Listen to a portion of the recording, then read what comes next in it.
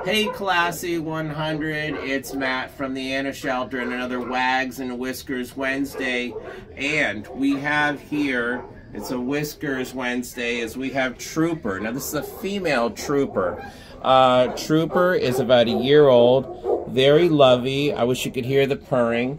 Um, but basically, her family just couldn't care for her anymore. That happens sometimes. So they made a good decision to bring her here to look for a new home. She's actually in a larger room here with uh, another cat, and so she does get along good with other cats.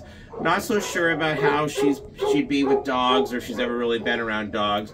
She can be playful, but she mostly likes to be cuddly and um, just a sweet girl. Now, not everybody's into a black cat, and you know, don't worry about those myths and um, you know uh, superstitions. I mean, you know, that's silly, right?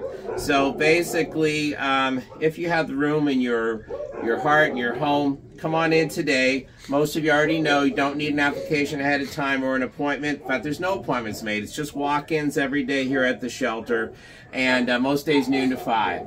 So come on by.